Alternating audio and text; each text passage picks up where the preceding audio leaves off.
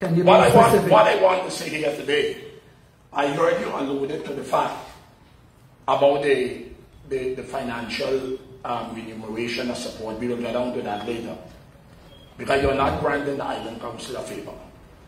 And I want to say, when I listen to you, I mean, I'm wondering if we in the fish market in Punda, you are a guest in this council. By virtue of, let me finish, I let you finish. I think you, you- you are a guest in this council. I will not and allow so you should not to come in this have council. not represent myself You should not come in this council I will not allow you- Oh. You should not be disrespecting the members of the council. This is the people house. You were not elected.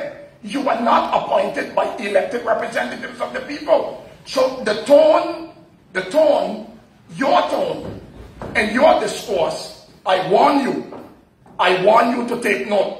Because again, I'm saying, this is the people's representative. This is the house of the people. You, by, you are by virtue of our colonial constitutional structure, the chairman, but respect the members of the island council and respect the people's house. That's a And- um, warning I send to you. and